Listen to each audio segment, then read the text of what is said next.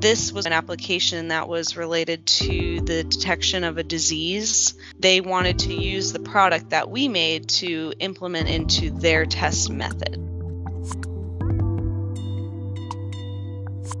I'm an application scientist and I mainly work on the lab services team. I'm involved with uh, connecting with our customers to perform studies for customers um, to test samples with our spectrometers, with our instrumentation.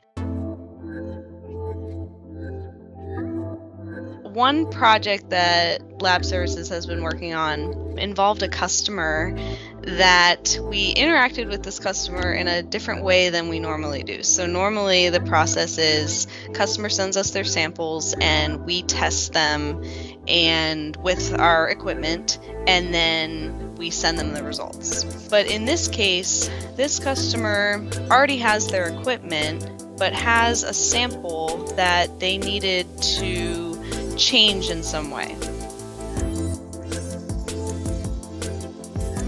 Our team, Lab Services, um, we have a chemical engineer.